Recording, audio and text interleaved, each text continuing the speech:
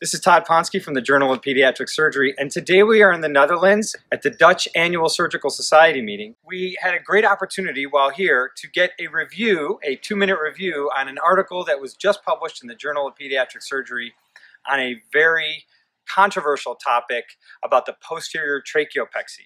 We recently did a, uh, a review on posterior tracheopexy from uh, Dr. Jennings' group, and now there's a new twist to this. Uh, the, using thoracoscopy and doing a posterior tracheopexy uh, routinely when doing an esophageal atresia repair.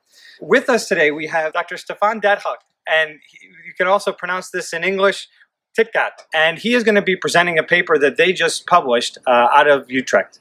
Uh, esophageal atresia is a foregut anomaly, so usually the trachea is also affected. Now, at the bronchoscopy, you can assess the site of the TE fistula, and also you can uh, assess whether it's more anterior problem or a posterior problem. Um, if there's more than two-thirds lumen occlusion, especially on the posterior side, then you should consider doing it. Now, in this paper, we described four patients we operated last year. They all had moderate to severe tracheomalacia at bronchoscopy especially posterior membranous intrusion of the lumen. And those patients were operated during esothoracoscopic uh, uh, surgery.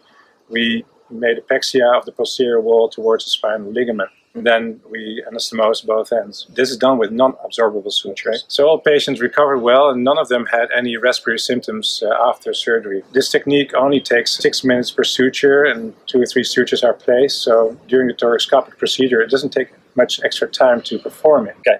I just want to make sure I got the summary right. What's being described here is that because it is so prominent in patients with esophageal atresia, instead of having to go back a second time for those patients, you guys do it proactively every time you're going to do an esophageal atresia repair. I think this is, in my opinion, this is going to be a very hot topic. This, whether it's right or wrong, I don't have the answer to that, but it's certainly an important topic to be addressing, and I'm glad I had the opportunity to interview you. Thanks for inviting us here, and uh, thanks for doing the review.